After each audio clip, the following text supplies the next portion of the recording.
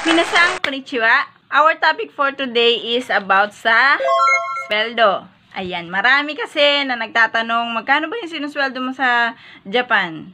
So, ito po yung itatopic natin for today. And stay tuned!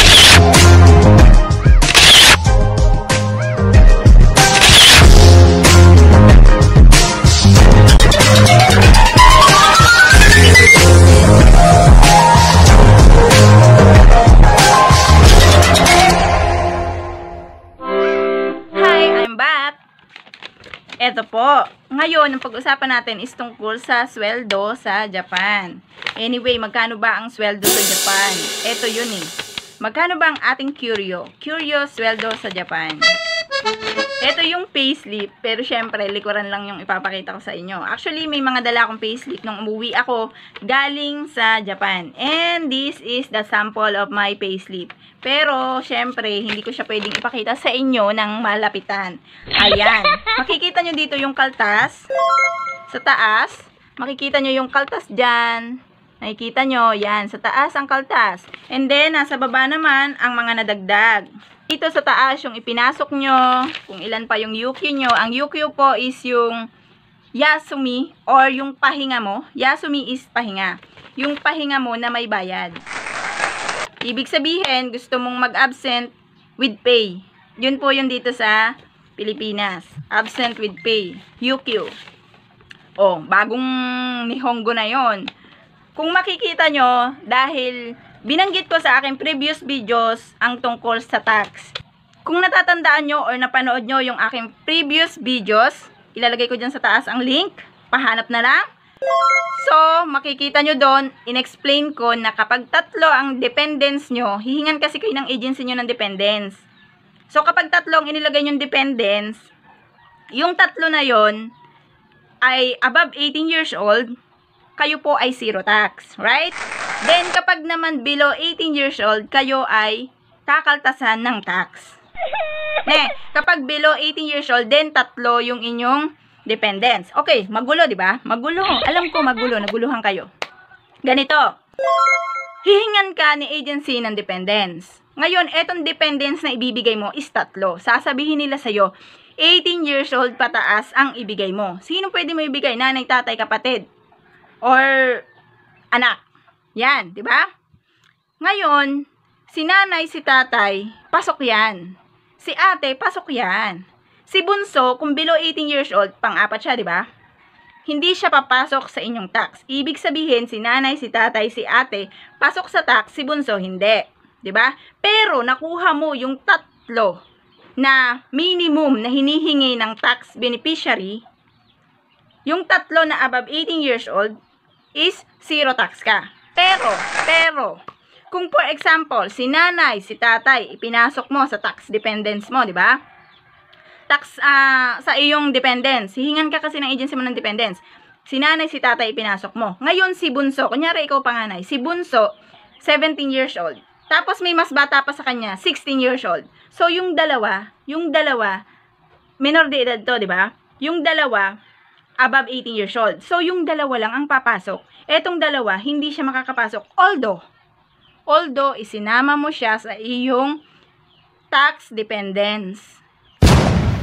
Kapag dalawa lang yung inyong inilagay or na-approve, above 18 years old, nangangahulugan po yun, nakakaltasan pa rin kayo ng tax kahit apat pa ang nakasulat sa inyo. Kailangan po kasi yung apat na yon ay above 18 years old. And, kailangan yung ilalagay nyo na mga tax dependents, mapapadalhan nyo ng pera. Bakit po? Dahil doon po sila magbe-base at doon po nila ikakalculate kung totoo ba na ito ay iyong dependents. At least once a year. I don't know kung meron siyang minimum or maximum. Pero ang ginawa ko lang kasi before is once a year. Pero yung unang year ko, napadalhan ko. Yung second year ko, dalawa lang yung napadalhan ko. Then yung third year ko, dalawa lang din. Kasi yung isa kong beneficiary is umalis na rin papunta ng Japan. So, naging dalawa na lang yung aking beneficiary, yung aking dependents. Kaya, naging dalawa na lang siya in second year and in third year ko. So, zero pa rin naman. Ayan o, oh, nakita nyo. Ayan, ayan. Yan. Oh. Zero. Zero pa rin naman ang kaltas niya sa akin sa tax ko. Kaya, mm, parang feeling ko naman hindi siya nagkaroon ng problema. Pero kapag umalis kayo, for example, umalis kayo ng Pilipinas, tapos dalawa lang talaga yung nakalagay nyo, asahan nyo na ha. Huwag kayong umasa na biglang mag-blink na hindi kayo kakaltasan ng tax. Dahil kakaltasan pa rin po kayo ng tax ng Japan. Nakalagay po yun sa kanilang rules. Kapag dalawa lang yung dependents nyo, kaya nga sabi ko sa inyo, gawin yung tatlo. Sinasabihan ko na nga kayo para alam nyo kung ano yung gagawin. O yun para sa mga mag apply pa lang, alam nyo na, paghandaan nyo na. Kung mag-isa kang anak, mag-isip ka kung sino pa yung ilalagay mong isa pang dependents mo bukod sa nanay at tatay mo. Anyway, no? So, tanongin nyo yung mga magiging sensei. O, sensei, teacher. Sensei nyo. Kung sino yung pwede nyo pang ilagay. Yan. Kayo na lang po yung bahala. Basta, pilitin yung makatatlo. Dahil mahal or medyo malaki lang din naman yung kaltas sa tax. Ang kaltas po sa tax is, yung mga nakasama ko, merong 3,000 mahigit, merong 5,000 mahigit. In the end, sabihin natin na yung 3,000 mahigit nasa 1,500 sa peso, yung 5,000 mahigit nasa 2,500 sa peso. Pero yun, calculated lang natin. Pero more or less, ganun yung price niya. So, mahal, di ba? Compare sa akin na kung susweldo ako ng walong lapad, sweldo ako ng walong lapad, 80,000 yen, hindi na ako mababawasan ng 5,000 yen, o 80,000 matatanggap ko, eh kung may kaldas pa ako, di naging 75,000 yen na lang. Anyway, yen po doon ang palitan. Yan, yen. At kung makikita nyo, meron kaming OT pero Sabado and 7 and 2 times a week lang. Hmm. Walang walang OT, walang OT. Eh nakaipon ka ba? 'Yun ang tanong doon. Nakaipon po ba kayo sa Japan kahit wala kayong OT? So far, meron naman. Masasabi mo na kapag pinagsama-sama mo naman yung mga naipundar mo, kaya mo namang makaipon. Eh, nakalagay po doon kasi sa aming ano sa agency namin, nakalagay po is minimum of 1 million pesos dapat yung maiipon mo. Yan. Kaya mo ba yun? Eh, paano kung kagaya ko wala akong OT?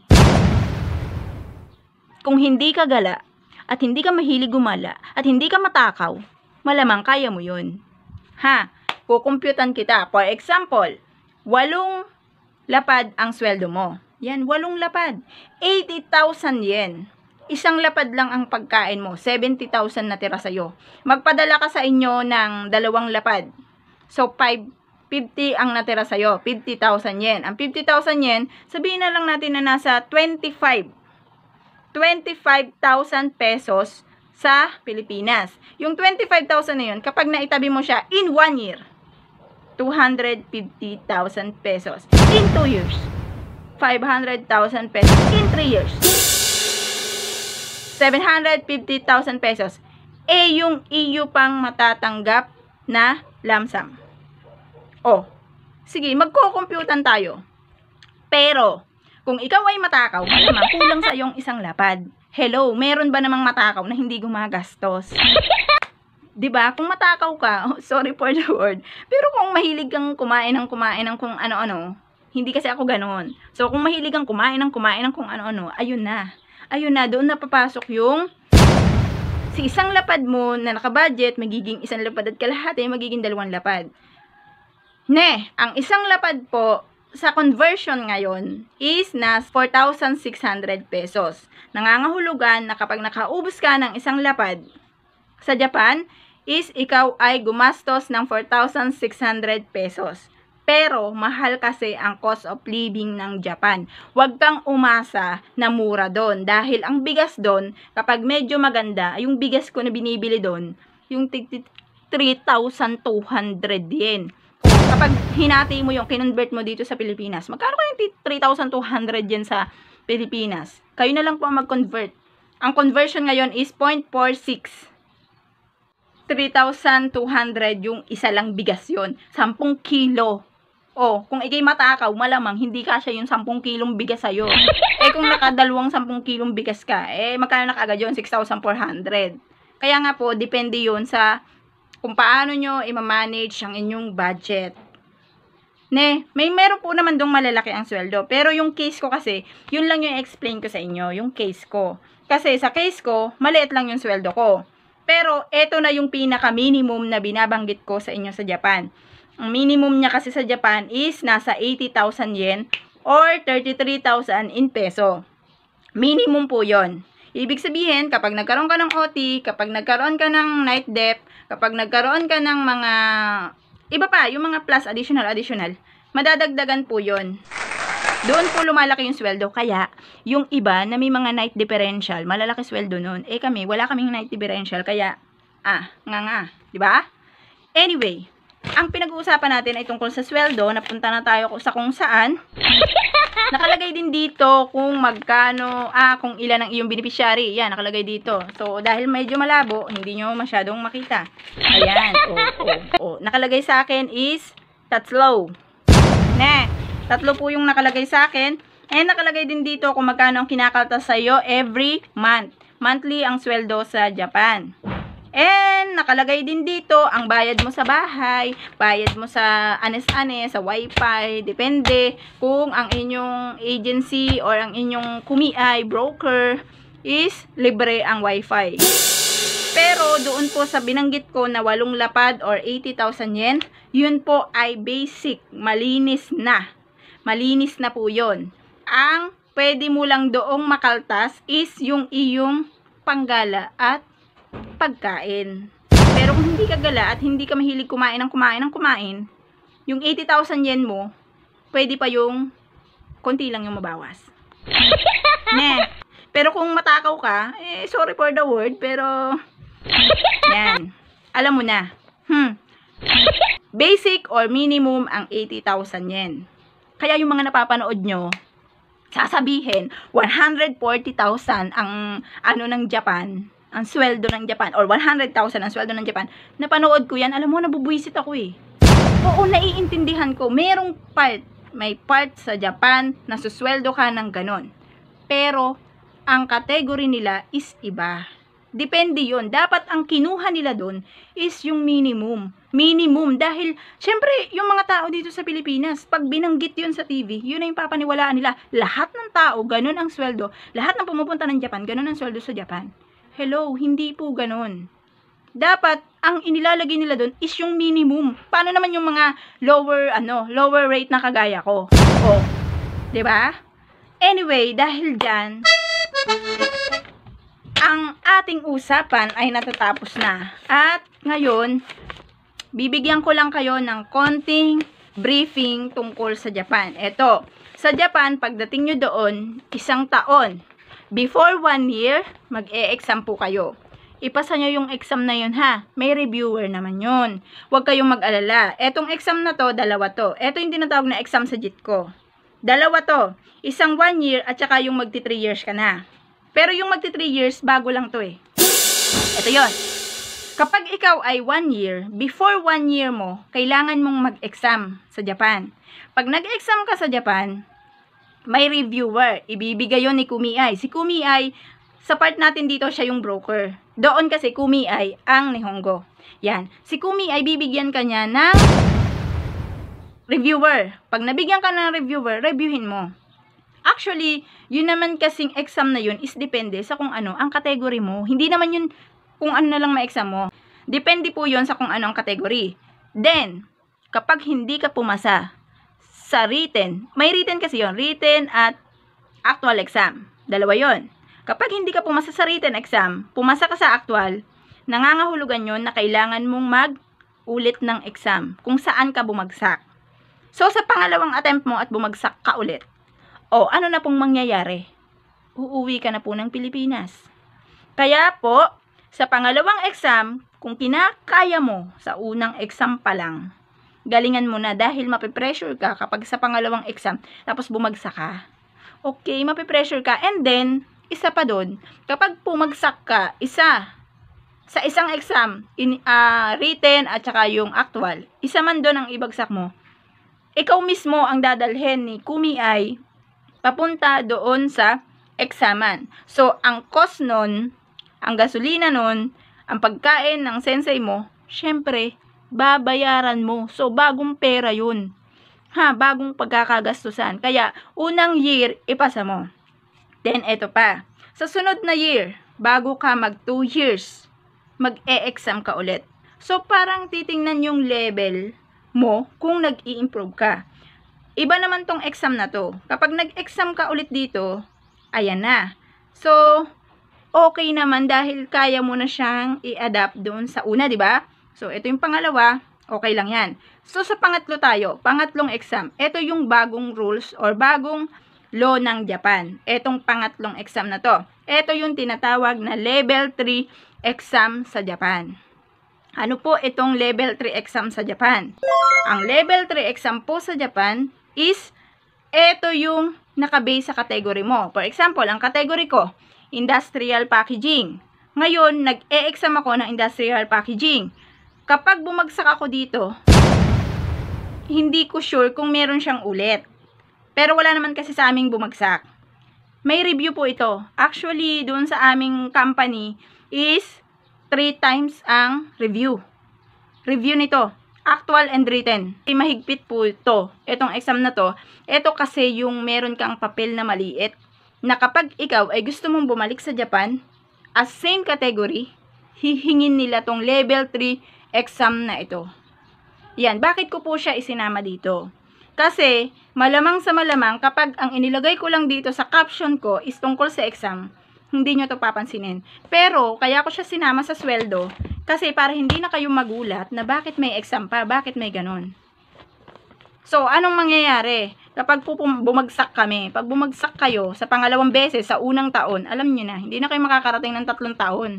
Pero, huwag kayong mag-alala kasi yung mga kumiay nyo, yung mga broker nyo doon, hindi naman yun papayag na makauwi kayo. Hello, binayaran nila yung pagpunta mo ng Japan. Kaya, hindi sila papayag. Pipilitin nila na maipasa mo yung exam. Kaya, sa mga review, kinig ka na lang. Kasi, alam nila yung ano eh, alam nila yung pwedeng malaman doon, o alam nila yung maari mong maging flow doon. Kaya makinig ka na lang. Okay, makakapasa ka. And yung kaba, yung kaba, yung kaba, totoo yun, nakakakaba siya. Actually, totoo yun, nakakakaba siya. And kapag nag-exam kayo, bawal masugatan. Ha? Hmm, bawal masugatan, bawal lumampas sa oras. Kung may oras kayo na 40 minutes, kailangan yung 40 minutes, hindi kayo lalampas. Pero, meron nagpapa-exam na naglampas. Kagaya sa amin, may nag-exam na naglampas siya ng 5 minutes. Kasi, maraming hindi nakatarget sa time. Kasi nga, ano eh, uh, mabilisan. Ganun. Kaya, focus, focus. Kung ano ituro ng sensei nyo, kung ano ituro ng teacher nyo, focus lang. Ayan, dyan na po natatapos ang ating kwentuhan sa Japan. And ngayon, ano bang kailangan kong ituro sa inyo? Para meron naman kayong matutunan kahit konti. Basic, Jiko Shokai. Ang Jiko Shokai po is pagpapakilala. O, ako muna ha. Testingin nyo sa sarili nyo. O, watashi wa mapoy des. Watashi, ako, ang wapo is particle parang sa atin ay I. Particle, ginagamit siya para mailagay yung, alam niyo naman yung particle, di ba? Ginagamit siya para mai-connect doon sa pangalawang subject or pangalawang noun. Ne, watashi wa mapoy des. Ang ako ay si mapoy. Ang des po is ginagamit kapag ikaw ay gumagalang. So, sinabi ko na yan before. Si, ako. Ang wa, particle. Ang Mapoy, syempre pangalan ko yon. Des is paggalang. Watashi wa Mapoy des. Uh, Sanju Sanju Nisai ni narimas. Sanju Sanju ni Sanju ni. Ang Sanju po is 30. Pero dahil meron siyang karugtong na ni, Sanju ni, Sanju ni is 32. Sai is age. Nangangahulugan ng ang sinasabi ko ay tungkol sa age ko. Sanju Nisai. Sanju Nisai. Ni Narimas. Ako po ay mag-32 years old na. Mm -hmm. Ang narimas po is gagamitin mo kapag before po yung pangyayari. For example, bukas ang birthday mo, Ashta, o tanjobi ni narimas. Ashta, bukas. O tanjobi, uh, birthday. Ang ni po is particle. Ang ni. Iba yung ni na sa age at ni na particle. Ang particle na ni is ginagamit po kapag mm, pag-aralan na lang natin sa susunod dahil medyo mahihilo kayo. Ni narimas. Ang narimas po, yun nga yung sinasabi ko sa inyo na ah, sasabihin nyo kapag before. Before yung, actually meron tong sentence pattern. Pero dahil gusto kong may matutunan kayo na kahit konti na nihongo sa kada tackle natin, so kailangan nating magbigay kahit paunti-unti lang na nihongo. Ayan, kung gusto nyo, ilalagay ko dito sa baba kung paano siya isulat ng hiragana. O, yung mga sinabi ko. Ang una kong sinabi, Watashi wa mapoy des. Isusulat ko yan sa baba. Yan. Second, Sanju nisai ni narimas. Isusulat ko yan. Kung paano siya isulat. So, basahin nyo. And kung hindi pa kayo natututo ng pagsusulat ng hiragana katakana, meron akong link sa taas. Pacheck na lang po. And aral-aral tayo. Ne? Kung kayo ay may plano magpunta ng Japan, so aral-aral tayo. Kasi pwede nyo po itong magamit. At ito talaga yung ituturo sa inyo sa mga learning center. Ne? Anyway, maraming maraming salamat po. Minasang arigato gozaimasu. Ja, mata ne. Minasang is everyone. Ah, arigato gozaimasu is thank you. Mata ne. Till next time. Mata ne. Mata ne. O, yan. May mga natututunan kayo pa unti-unti. Pero don't, ah, wag nyo po akong, wag nyo sasabihin na okay lang ako na magaling ako. Kasi, syempre, alam nyo kasi, galing lang po ako ng Japan, pero hindi ko naman sinabi na fluent ako sa Japanese. Pero, syempre, yung mga basic na alam ko, pwede ko yung maituro sa inyo. At, yun po talaga yung goal ko, yung makatulong. Because, nung nag, ah, a-apply ako papunta ng Japan, wala po talaga akong idea ng pagtatrabaho sa Japan. Kaya, sinishare ko lahat ng alam ko na pwede pong makatulong sa inyo, lalo na kung kayo ay gustong mag-apply papunta ng Japan. Sinishare ko po talaga ito para po talaga to sa inyo. Anyway, ya, mata ne. Arigato gozaimasu. Arigato gozaimasu, minasang. Mata ne.